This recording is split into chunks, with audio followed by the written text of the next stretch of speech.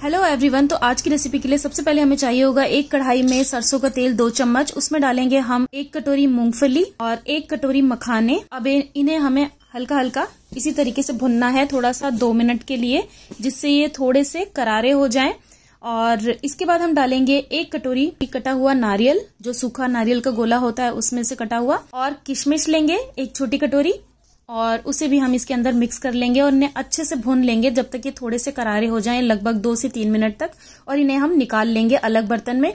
अब हम लेंगे एक कढ़ाई में फिर से दो चम्मच ऑयल और उसमें डालेंगे करी पत्ता, काला नमक, एक छोटा चम्मच, हल्दी पाउडर आधा छोटा चम्मच, नमक, एक चम्मच, हरी मिर्च कटी हुई, और इन सबको हम हल्का सा चला लेंगे और उसके बाद इसमें डालेंगे हम मुरमुरे। ये मैंने लगभग 150 ग्राम मुरमुरे लिए हैं और इन्हें अच्छे से मिक्स कर लेंगे हम। और ये देखिए, इनका कलर काफ़ी चेंज हो चुका है। जो हमने मूंगफली, नारियल और मखाने हमने फ्राई करके रखे थे, उन्हें इसके अंदर ऐड कर देंगे और किशमिश भी। ये हमारा आम की छोटी मोटी भूख के लिए टेस्टी सा नाश्ता बनके रेडी हो चुका है। लेकिन इसमें अभी हमें एक इंग्रेडिएंट और डालना है, जिससे कि थोड़ा और चटपटा हो जाएगा, और वो है एक चम्मच मसाला। और उसे हम डाल देंगे इसमें। अब इसे अच्छे से मिक्स कर लेंगे।